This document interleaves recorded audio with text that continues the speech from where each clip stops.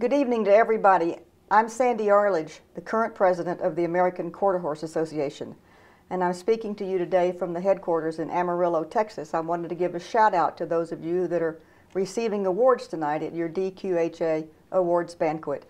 A special congratulations goes to Gesa Meier and Thomas Bidmon on the accomplishments of their leading sire, Ain't It the Blues. Congratulations to you guy. He's a really nice horse, and you know that I liked him when I was there before. I understand that you're also the reserve leading breeder, and that's quite an accomplishment, and congratulations to you. And congratulations to the DQHA leading breeder of the year, Michael Middel. He also owns the leading dam, Hunting a Dream. You guys have had a wonderful season. I appreciate you showing your American quarter horses. I appreciate your passion for the horse, your passion for the industry, and I wish all of you the very best of luck in 2017.